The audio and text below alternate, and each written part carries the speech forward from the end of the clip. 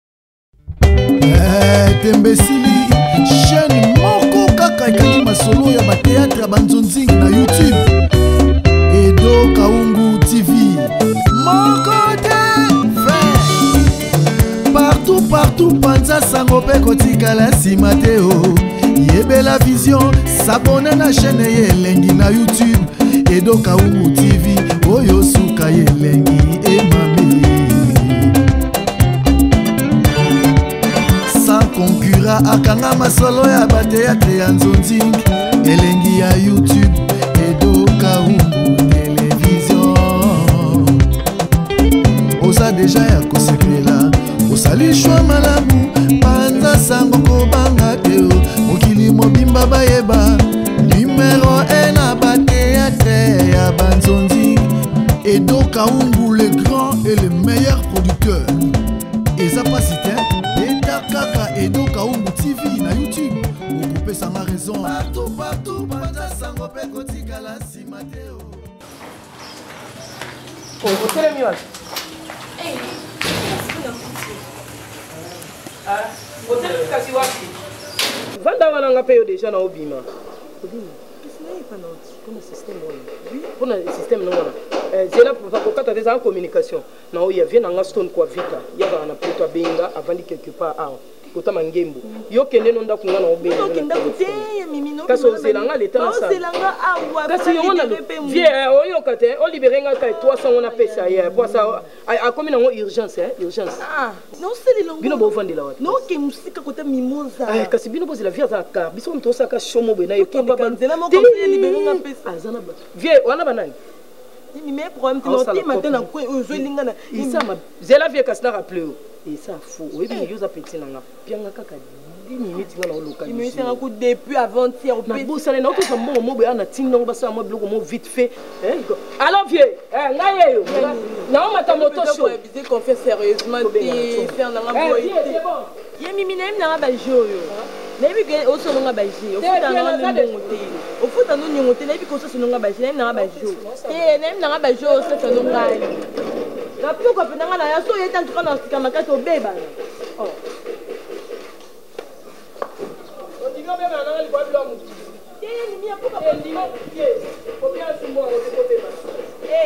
tozala bien mimi tala tozala bien na respect tokoa ser na nga tobeba te likambo pardon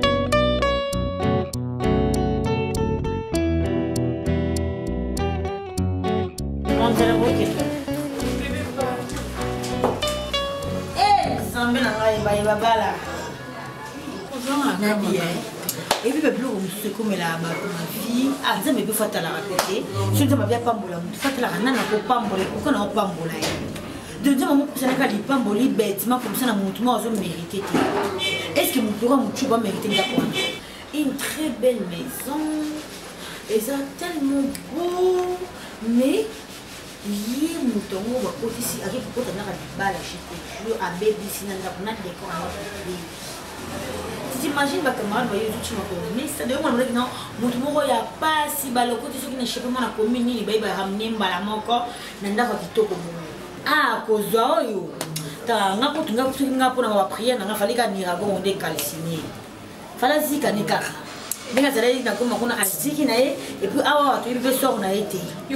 soki omoni parce que oyebi bato mosusu bauta oyebi ke goma ya kitoko ngai nazala na goma osanti ke non e, namonaka salite na nzela te namonaka lititi te mais mocope nayebaka te goma oyo akende kofanda ezaki goma oyo ya goma o oh, to gombanda ye konzela botama na mpo andani bilongo mabima bango salite mwana beba salite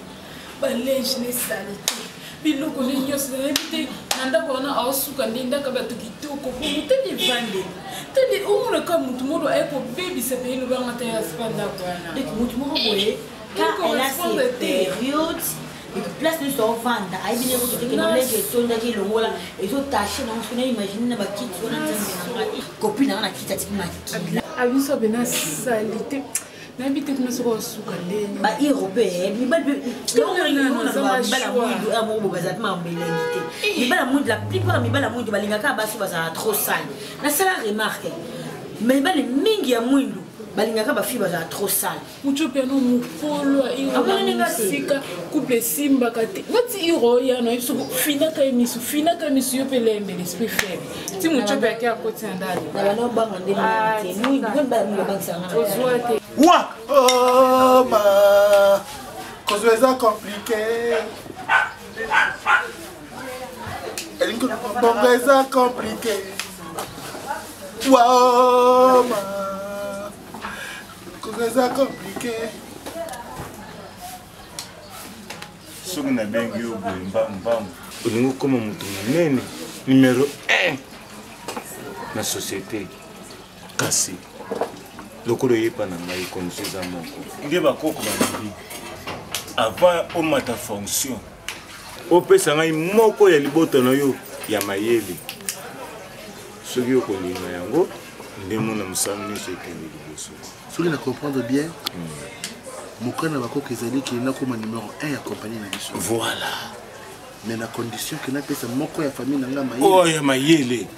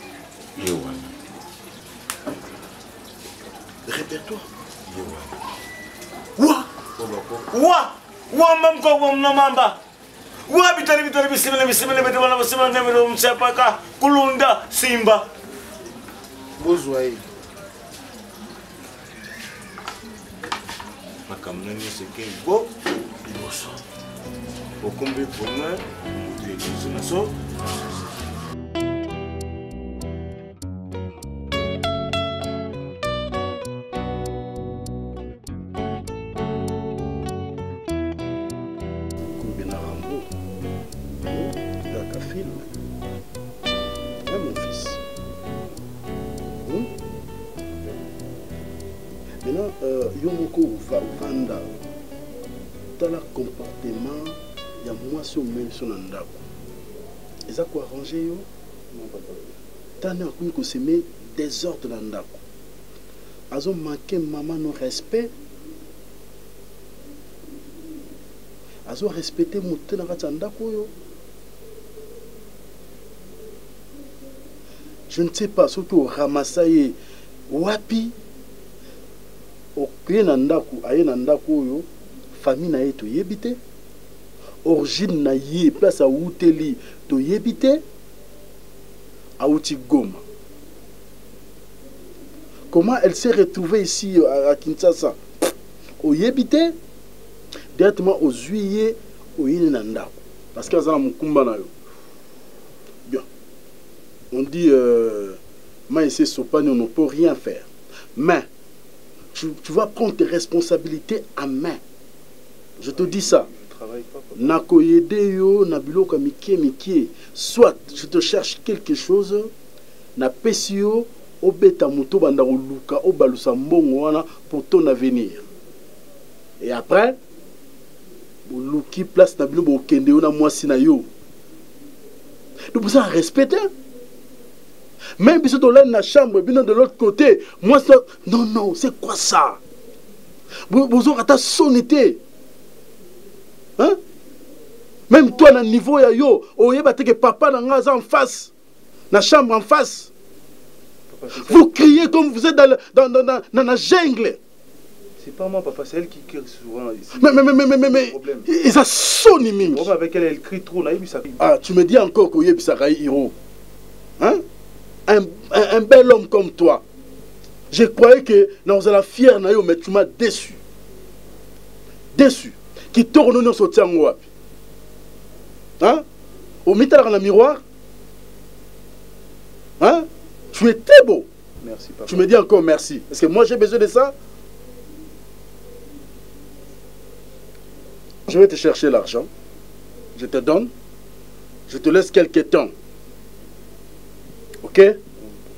Comme ça oko quitter pas na ngai bokende ko débrouiller ailleurs yo na mwasi na yo. Et puis en plus mpo namona mwasi wana lisusu awa mpo namona baparent na ye mpo namona awuta wapi source na ye eza nini papa euh, rosi elle vient de goma elle a perdu toute sa famille là-bas je sais pas soki kuna tikala na banani ici elle vit avec ses copines c'est donc faux je te dis c'est faux comment papa mais oui mais oui donc ndenge azala na famille nyonso atikelaka ye moko non ba misusu batika na goma babungana na na na non tika lokuta ko hein akosa onde bongo po ndima papa c'est la vérité laisse tomber non non informer via Rosie papa c'est ma femme non non et moi ça na kozanga ndoki te comment ça je te dis na mona moi liboso na ngam na, na mema yo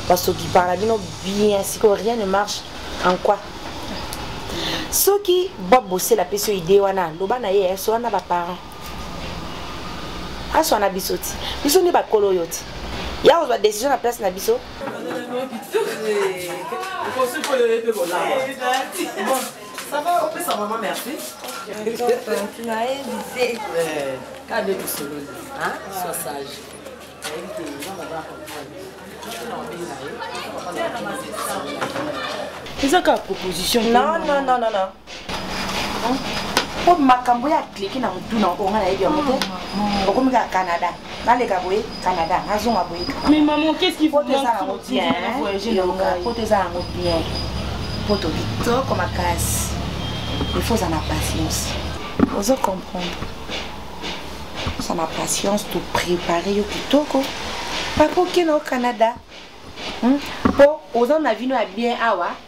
nayebi te ezalaka nini yango po kino nyonso tokoma oraisonne kaka poto ata azali na vino ya bien nde bino boza awa mai alonga kaka poto yo kasi na poto kuna mbongo balokota yango okomi kaka boye na aéroport to ntango ozokita kaka boye ale olokoti mbongo otongi ba immeuble osali soki ndenge nini ya malamu mbala moko okoluka kaka ndenge ozoluka na kinshasa awa comme ça ça papa tante na bien bien d'accord tante na bien bon na easy tante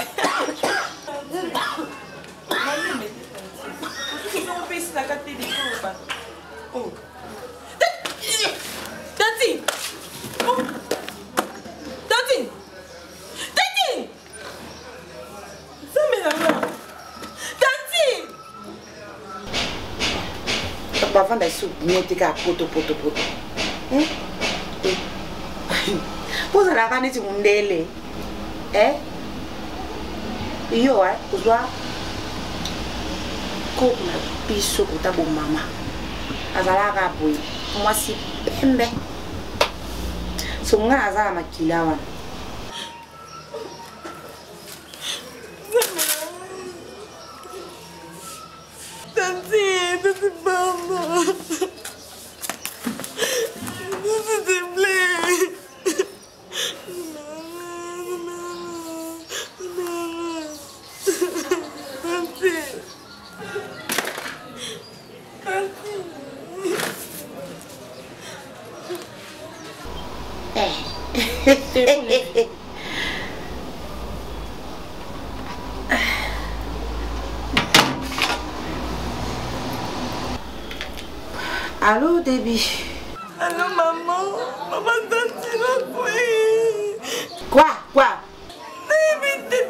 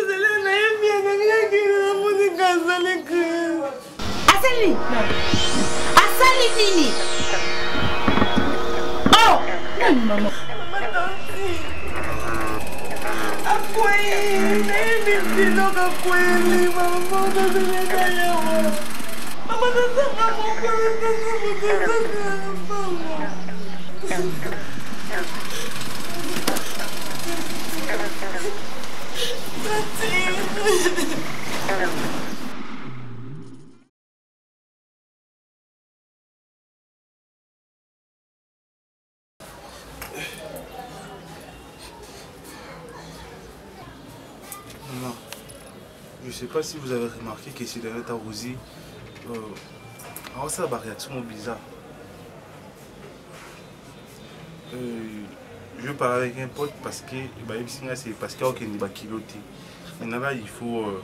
akende kilo. Je sais pas si euh, je peux avoir un certain dollar chez, chez maman. Parce qu'il faut oser banda kilo. omoni kovanda boye banose banini babi mwana ozala déformé na kati ya kilo nde esalaka mwana azwa forme kilo nakuna kaseki yo oza mwasi oza mama oza mie place kutu informe naki yoko tu vois ta femme elela par rapport à zemi yekofakendaka kilo mais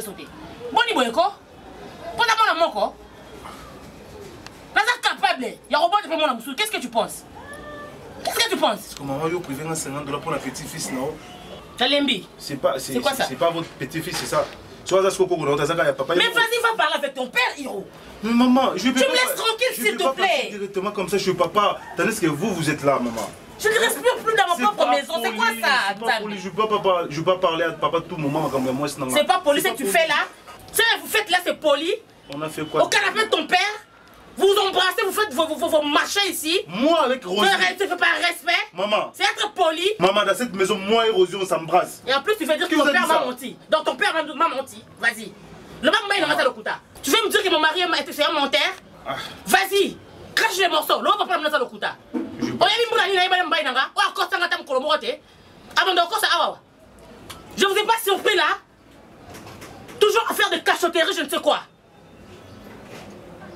okoboma nga te babotaka mwana mpo ntina ko mokolo nakoma mobange mwana zwanga en charge okoboma nga te je te dis sans effet maman je remarqué on dirait na ndako bolinga so te c'est ça le cas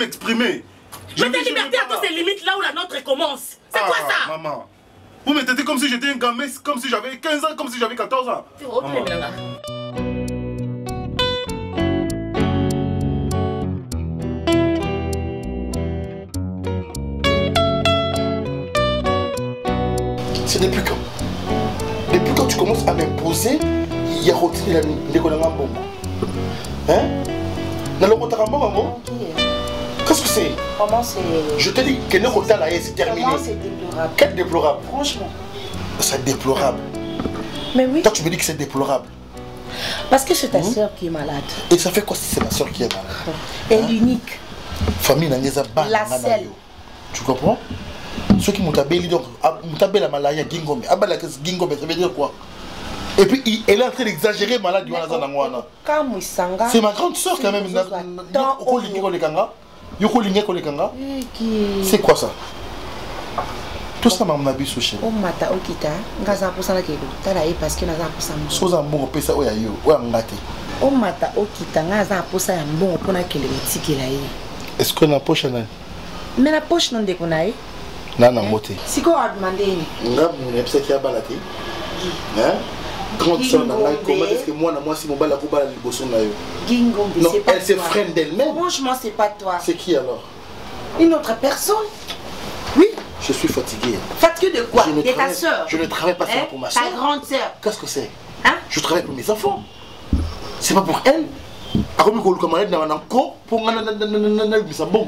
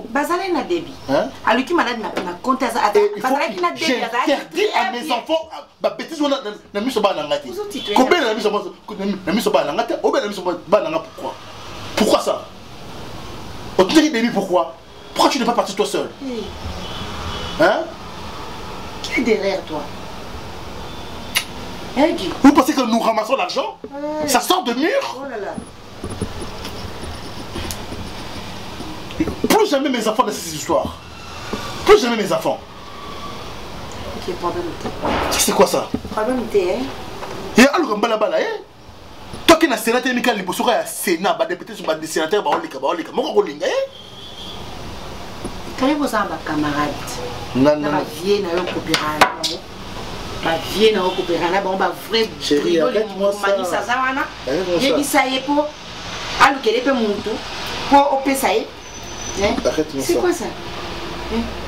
nga naloba na makambo na ya répertoire pardon pardon ko embrie ngai ti fona kende olongola nga na tutu na ngai pembeni na sepa ton avantage naboya yo oza wapi yo mbani ya olingo sikondo oza boye yesu ta makambo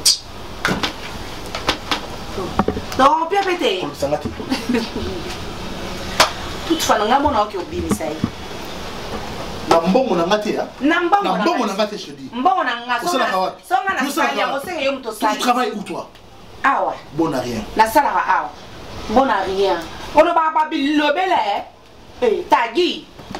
gi ngombe kosala ku baje tosala ya buzoba wana boni boye ko obangisa biso eh? obi olingi oyokaka te nga mpe na pike crise mpo modele idebe abengela nga na telefone babele naza awa doye naza confuse nazo comprendre te eloko nini ekomelenga parce que nazala na fièvre te meme bagripe yango ezosalasala bato oyo nayoka yango mpe te nazalaka bonne santé tosisi mpe osolola na jeune fille na nga tobini mpe nazoba kotopesa mama merci koni na nga nazwi na comprena te namona neti lilinga neti molili soki nini nde na nde nakoya nayeba te na ndenge na yesu kibana okilobela lopital a naza wapi naponi ndenge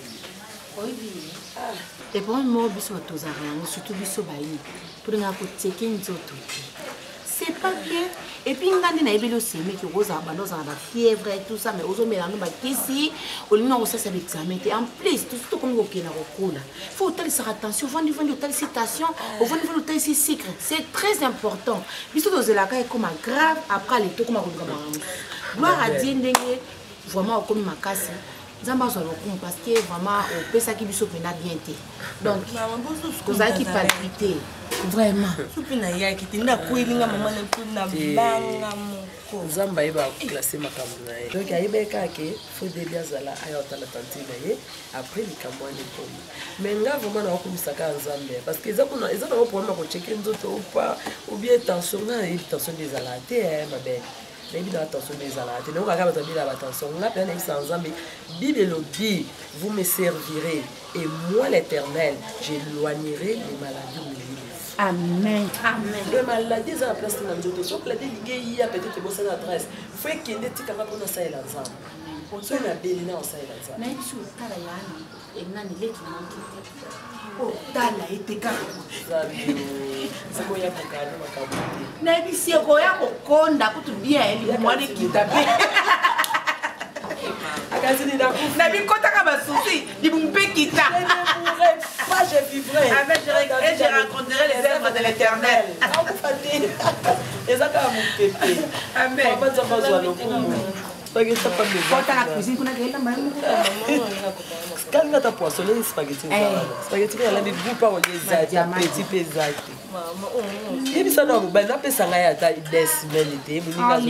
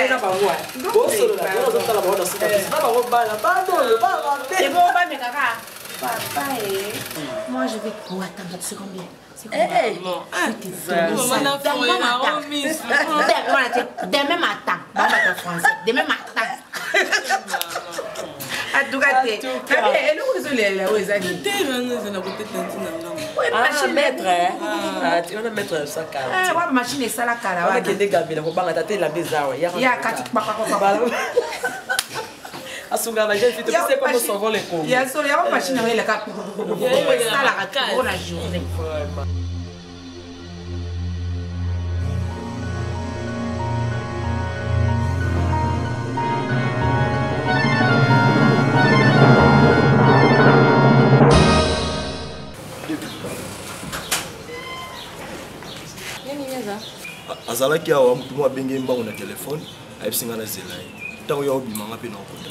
kozalaka na bino mbala naye awa mpo nayebi yo ozalaka mingimingi awa debi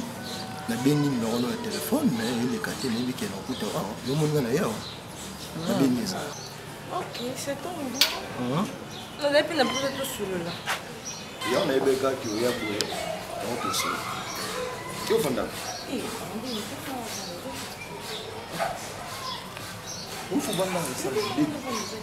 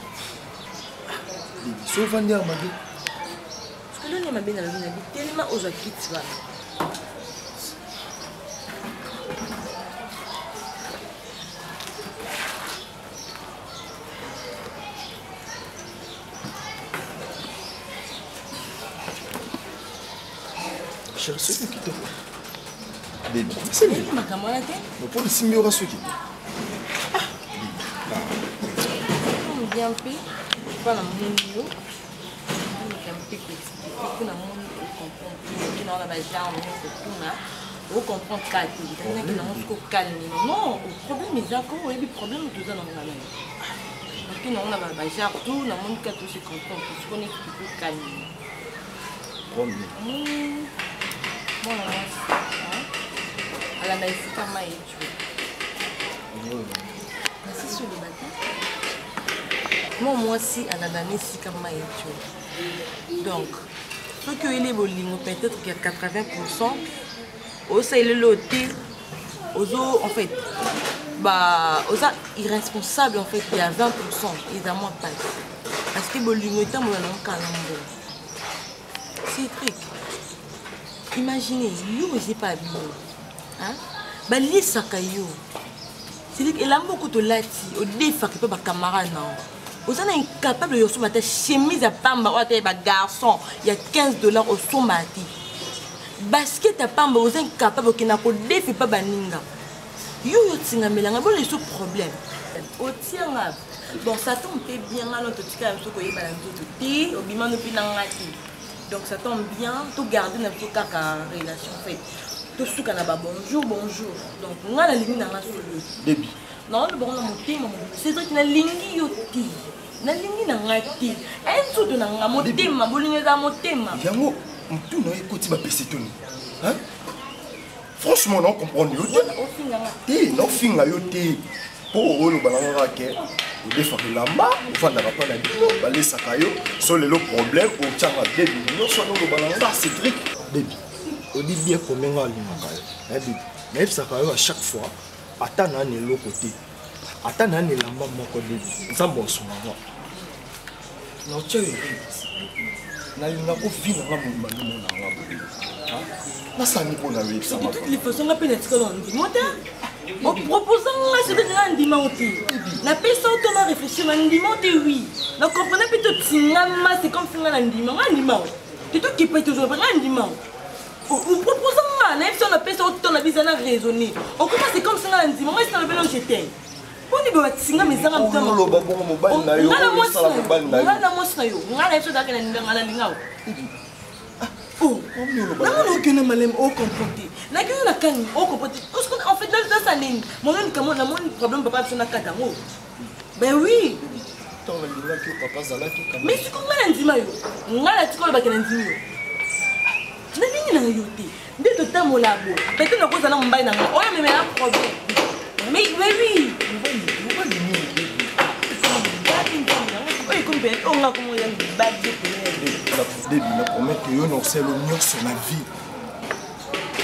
soka eza ke olinga nga nde olinga nga parce que ye moto akometaka yo okota awa olukanga te omoni ngo nayebisa nini nkoyo otya makolo anga na bona lisusu ate mpona yo koluka nga te nalingi na nga te nalingi relation te naboyi o oh.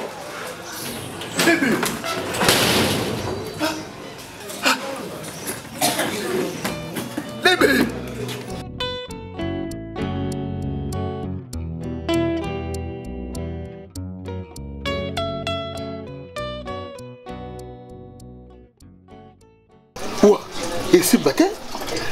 bino bosengi nga moto nga napesi bino deja moto bino nde bokoki kozwa ye te eko bosunga nakufa ndenge nini nga nakufa siko ndenge nini eh? esimbi te oh. mais nakufa ngai sikoyo nakufa mpo na nini ngai asali nini yango mabe nini ngai mais moto opesi ngai asimbi te mais bete bokoki ye te ah, nzambe na ngai sikoyo tosala ndenge nini nabo okufa ngai eh, nabo na ngai okufa ngai nabo na ngai okufa sikoyo moye mosusu eza te moye mbwa moye mosusu eza te napesa ata mwasi na ngai ye te kanga yo moko mama na ngai mama na ngai wa pardon yebisa bakoko bachange wa napesa ata mwasi na ngai yo moko ozoke olingi te yo moko okende nalingi ata moke te nakufa te wa nakufa te te nakufa te te nakufa te naza prêt osala nyonso nabatela bomoi na ngai nakosunga yo est-ce que oyo oh, nakoyebisa yo okosalela yango eh, nasala okosala yango kondisio nyonso nakopesa yo okosala yango nakosala yango pourvu ke nakufa te simba ah! oyo nasimbisi yo yango nde ekoki kosunga yo ese okondima nandimi ondimi nandimi simba mbeli omoni ndenge abokani eh. mpo oyebi ke oza deya na bisalisi kasi obima na bana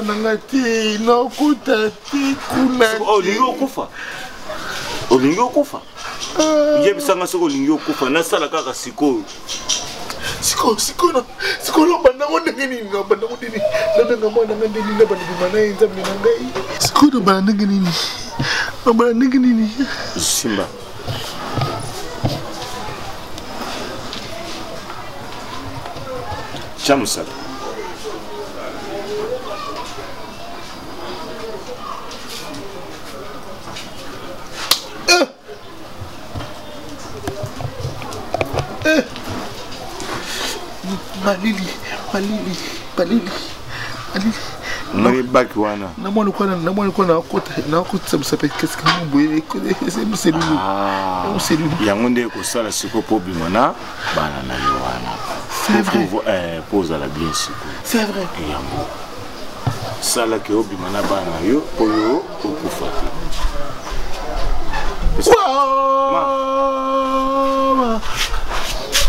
kozwa eza komplike kozwa eza komplike bozwa eza komplike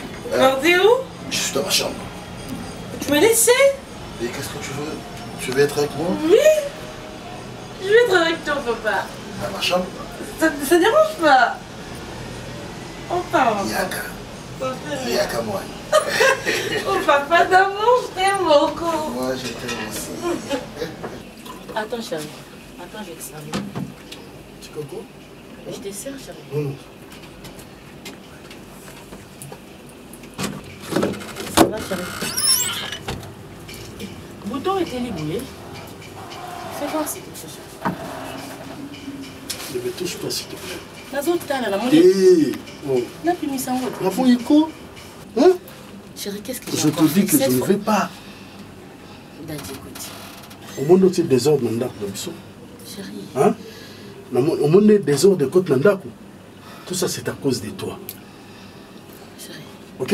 wana ekoberse mwana mwana eza koli okoyo mobali monene mbinga mandefu mais ozomoni kaka lokola mwana 8 ans 9 ans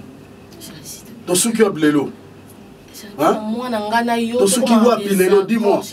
tosuki wapi en fait, des, des, des, des fois, non, on dirait que Nazo halluciné ou quoi que ce soit. Moi, n'a sali ma vie. Là, je le sais, je suis consciente que moi, nasali ma paye. Mais après, chérie, moi, moi, sanga bota, atiki la nenga ta koko na, akende na ye. Chérie, on peut pas être en désaccord parce que makambo ya bien te ezolekana ndako tala climat nde ekomi na ndako chérie si sur salon oza na chambre naza na chambre tu sors oza na balcon tu veux même pas que je t'approche chérie attends s'il te plaît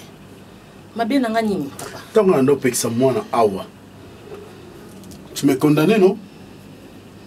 bavie ya baboite bavie ya banini eh, ba, ba, tu me condamne voilà résultat apesi biso voilà maintenant nabetele maboko namemela na baepole na nga parce que c'est mon fils parce que c'est mon fils unique akutani kande na moto ya mabe chéri akutani na moto ya mabe akutani na moto ya mabe mwana ngai na koma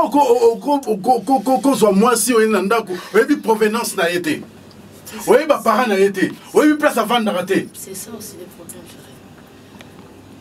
vous trouvez ça normal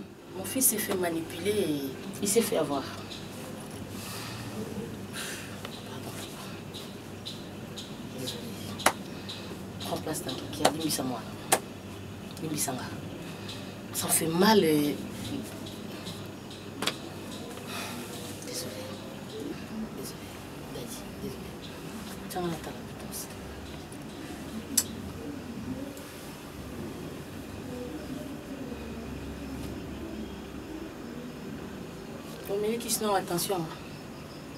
nai nango